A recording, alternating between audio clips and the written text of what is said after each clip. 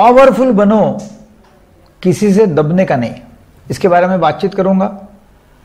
मेरा नाम है डॉक्टर दीपक केड़कर मनोविकार, सेक्स, रोग, सम्मोहन तथा व्यसन मुक्ति महाराष्ट्र में मुंबई, पुणे, अकोला यहाँ प्रैक्टिस करता हूँ। क्या है कि हम काफ़ी सारी सिचुएशन में ऐसा हो सकता है कि हमको कोई व्यक्ति जिसके हाथ में पावर है या कोई बॉस है, वो हमको दबा सकता है और हम दब जाते हैं। दब इसलिए जाते हैं कि हमको लगता है कि मैं वीक हूँ वो ज़्यादा पावरफुल है। मैं उसके ऊपर डिपेंडेंट हूँ। यदि सप्रेस नहीं किया मुझे खुद को, या मैंने रिटेलिएट किया, आक्रमण किया, या ऐसा कुछ उल्टा बोला तो मेरा नुकसान हो जाएगा। या मेरे को डर लगता है, इसलिए कुछ बोलता नहीं। अब ये रिलेशनशिप ऐसी हो सकती है कि पति पत्नी की है, जहाँ पत्नी जो है, वो अन्याय सहन कर रही है पति का। पति बहुत ही उसको पावरफुल पावरफुल है और वो उसको डील कर रहा है पत्नी के बिहेवियर को और वो पत्नी को कुछ ना कुछ बोलते रहता है और पत्नी भी फिर उसको डील करते रहते हैं कि अभी क्या करे ऐसा कैसा कर रहा है। और फिर पत्नी को यदि पूछा कि भाई आप क्यों नहीं छोड़ के जा रहे? हैं तो बोलते, नहीं नहीं, मैं कैसे क्या अकेले रह सकती हूँ? मैं तो डिपेंडेंट हूँ।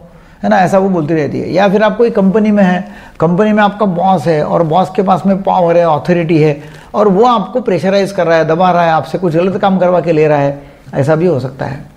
अब देखिए कि ये दोनों तीनों सिचुएशन काफ़ी सिचुएशन ऐसी हो सकती है कि जहाँ हम दब जाते हैं रिटेलिएट नहीं करते, उल्टा बोलते नहीं है, वहाँ बोलने की इच्छा भी रहती है सप्रेस हो जाते हैं और रोते रहते हैं। रुके फ़ायदा भी नहीं है। यदि आप वहाँ बैठे हुए हैं और वहाँ बैठकर, वहाँ रहकर आप काम कर रहे हैं और इधर रोते भी है कंप्लेंट भी कर रहे हैं तो मतलब नहीं है। तो आपको क्या करना पड़ेगा? आपको ये देखना पड़ेगा कि भाई, मैं यहाँ क्यों रह रहा हूँ? या क्यों रह रही हूँ? यदि मैं वहाँ कंटिन्यू रह रहा हूँ तो मेरी क्या डिसऑनेस्टी है? या अप्रामाणिकता ऐसी क्या है मेरी कि मैं यहाँ कंटिन्यू कर रहा हूँ? रोता भी हूँ। चलता नहीं है, मेरा बॉस ऐसा है, मेरा बॉस बहुत दबा रहा है मुझे, मेरा बॉस बहुत प्रेशर कर रहा है, मेरा बॉस बहुत काम कर रहा है, मेरा यूँ कर रहा है, मेरे को गाली देता है, मेरे से बात नहीं करता है, फिर क्यों रह रहे हैं आप वहाँ?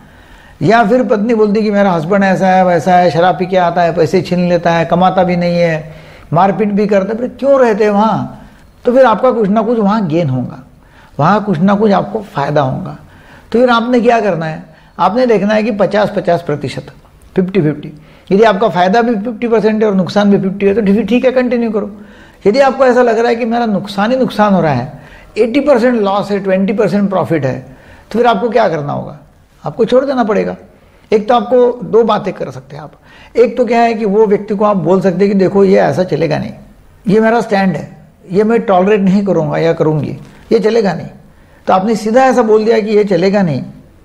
ये अन्याय है और मैं ऐसा टॉलरेट नहीं करूँगा। तो फिर क्या होगा? दो बातें हो सकती है। एक है कि वो व्यक्ति को ऐसा लगेगा कि नहीं नहीं, ठीक है, मैंने जो कर रहा था वो ठीक नहीं है और मैंने ऐसा नहीं करना चाहिए। ऐसा बोल के वो व्यक्ति, वो हस्बैंड या और कोई व्यक्ति चुप रहेगा और अपने आप को ठीक ठाक कर लेगा। यदि आप उसके फ़ायदे के हो मतलब समझो आप वो कंपनी में काम कर रहे हैं, आपने बोला कि नहीं चलेगा ये और यदि आप वो कंपनी के लिए फ़ायदे के हो तो फिर बॉस जो है अथॉरिटी जो है, वो अपना जो बिहेवियर है, वो ठीक कर लेगा। पत्नी है और वो बोलती कि नहीं, मुझे नहीं चलेगा ये, मैं नहीं टॉलरेट करूँगी ये फालतू बिहेवियर इस तरह का बिहेवियर इस तरह का मारठोक करना, पैसे छीनना, ये मैं टॉलरेट नहीं करूँगी तो वो ठीक है लाइन पे आ जाएगा, क्योंकि आप स्ट्रेट बोल रहे और नहीं तो फिर बोलेंगे कि नहीं, ठीक है, चलेगा। यदि आप वैसे भी वो सुधर नहीं रहा है और आपको बोल रहा है कि नहीं, मैं तो ऐसा कंटिन्यू करूँगा, तुमको रहना है तो रहो, नहीं तो चले जाओ। इसका मतलब फिर आप वो व्यक्ति के लिए कुछ इंपॉर्टेंट है नहीं। और जब आप वो व्यक्ति के लिए इंपॉर्टेंट नहीं है या कंपनी में इंपॉर्टेंट नहीं है तो वैसे भी वहाँ रह के क्या फ़ायदा है? कोई फ़ायदा नहीं है। फिर वहाँ निकलने अच्छा है। तो फिर क्या है कि वहाँ आपको पेन कितना है और गेन कितना है वो देखना होगा कि मेरा पेन कितना और गेन कितना। पेन यदि ज़्यादा है तो क्यों रहने का है? समझो, और आपको ये कैसा टॉलरेट करना है, ये कैसा असेस करना है, ये कैसा देखना है तो वो देखो कि समझो भी मैं ये कुर्सी पे बैठा हूँ, और मैं बोल रहा हूँ कि भाई, खिल्ला मुझे टोच रहा है, खिल्ला टोच रहा है, इधर से टोच रहा है, इधर से टोच रहा है दो तीन खिल्ले हैं, और मैं कंप्लेंट भी कर रहा हूँ, बोल भी रहा हूँ कि खिल्ला टोच रहा है, और मैं चिल्ला भी रहा हूँ कि नहीं नहीं, मुझे बैठना नहीं चाहिए, देखो कितना दर्द कर रहा है, देखो यहाँ टोच रहा है, और मैं कंटिन्यू बैठ भी रहा हूँ। इसका मतलब क्या हो सकता है? इसका मतलब ये हो सकता है कि मेरे को बैठने कंटिन्यू करना, बैठना कंटिन्यू करना उसमें फ़ायदा हो सकता है। और फ़ायदा है करके मैं मैं यहीं बैठ रहा हूँ। और नहीं तो फिर मुझे उठकर दूसरी चेयर पर बैठना, वो तकलीफ़ दे ज़्यादा हो सकता है, इसलिए फिर मैं कंटिन्यू करता हूँ। तो फिर आपको ये असेस करना पड़ेगा।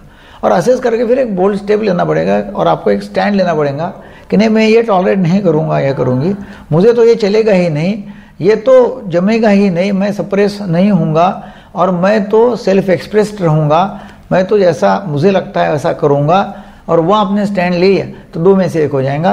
आप एक तो वो बॉस जो है या हस्बैंड जो है, वो अपना बिहेवियर सुधर लेगा, या फिर आपको बाहर निकलना पड़ेगा और उसकी आपने तैयारी करना चाहिए, क्योंकि वैसे भी रह के फ़ायदा नहीं थैंक यू वेरी मच मानसिक रोगी तथा शराबी के व्यसनी, इनको बिना रिश्तेदार, अकेले हम हमारे हॉस्पिटल में पेशेंट को भर्ती करते हैं और उनका इलाज करते हैं।